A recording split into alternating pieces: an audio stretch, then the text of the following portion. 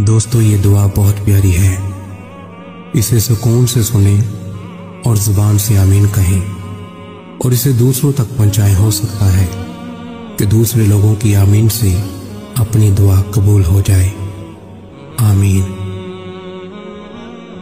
अल्लाह रब्बुल इज़्ज़त, ए सारी कायनात के शहनशाह, ए सारी मखलूक के पालने वाले, ए ज़िंदगी मौत का फैसला करने वाले आसमानों और ज़मीनों के मालिक ए पहाड़ों और समंदरों के मालिक ए इंसानों और जिन्नातों के माबूद ए आज़म के मालिक ए फरिश्तों के माबूद ए इज़्ज़त और ज़िल्लत के मालिक ए बीमारों को शिफा देने वाले ए बादशाहों के बादशाह ए अल्लाह हम तेरे गुनाहगार बंदे हैं, तेरे खताकार बंदे हैं। हमारे गुनाहों को माफ़ फरमा। हमारी खताओं को माफ़ फरमा।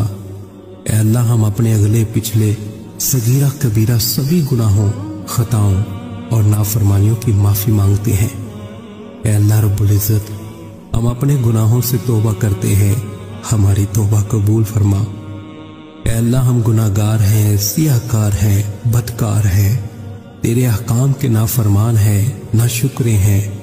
लेकिन लेकिन लेकिन मेरे महबूद तेरे नाम लेवा बंदे हैं, तेरी तोहीद की गवाही देते हैं, तेरे सिवा कोई इबादत के लायक नहीं, तेरे सिवा तेरे सिवा कोई बंदगी के लायक नहीं, तेरे सिवा कोई तारीफ़ के लायक नहीं। हमारे महबूद हमारे गुनाह तेरी रहमत से बड़े नहीं हैं, तू अपनी अपनी रहमत से हमारे गुनाह माफ़ कर दे, माफ़ कर दे, माफ़ कर दे। अल्लाह पाक, हमें गुमराही के रास्ते से हटाकर सिरातल मुस्तकीम के रास्ते पे चलने वाला बना दे। अल्लाह, ऐसी नमाज़ पढ़ने की तोफीक अता कर जिस नमाज़ पे तू राज़ी हो जाए।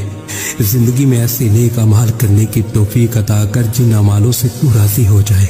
हमें हमें ऐसी ज़िंदगी गुजारने की तोफीक अता कर जिस ज़िंदगी से तू राज़ी हो जाए। ईमान पे ज़िंदा रख और ईमान पे ही मौत अता कर। अल्लाह, हमें तेरे अहकाम की फर्मा बरदारी करने वाला बना। और तेरे प्यारे हबीब जनाब मोहम्मद सल्लल्लाहु के नेक और पकीजा अदाब को अपनाने वाला बना दे। अल्लाह हमारी परेशानियों को दूर कर दे। अल्लाह जो बीमार है उन्हें शिवाय कामिला आजिला नाफियाता फरमा। अल्लाह जो कर्ज के बोझ तले दबे हुए हैं, उनका कर्ज जल्द से जल्द अदा करवा दे।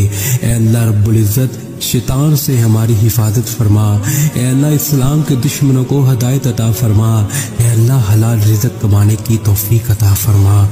ए परवर दिगार आलम, हमें तुझसे मांगना नहीं आता, लेकिन तुझे देना आता है। तो हर चीज़ पे कादिर है। ए अल्लाह, जो मांगा वो भी अता फरमा, और जो मांगने से रह गया वो भी अता फरमा। हमारी दुआ अपने रहम से, अपने कर्म से कबूल फरमा, और जिसने ये दुआ भेजी, और जिसने ये दुआ भेजी और इसे आगे बढ़ा रहा है। उसकी सारी परेशानियों, तकलीफ़ों और बीमारियों को दूर फरमा और सेहत व तंदरुस्ती अता फरमा। ये दुआ पूरी ज़रूर सुने। ए मेरे परवरदिगार, अपने प्यारे हबीब, हज़रत मोहम्मद सल्लल्लाहु अलैहि वसल्लम के सदक़े, पूरी दुनिया में जितने लोग वफात पा चुके हैं, उनकी मगफरत फरमा। उन्हें कब्र के अजाब से बचा। जो बीमार हैं या परेशान है तो उनको अपने कर्म से माफ़ फरमा। और उनकी बीमारी और परेशानियों को दूर फरमा, ए मेरे अल्लाह, ए प्यारे हबीब सल्लल्लाहु अलैहि वसल्लम के सदक़े, जिसने मुझे ये दुआ भेजी, उसके तमाम गुनाहों को माफ़ फरमा और हर काम में कामयाबी अता फरमा।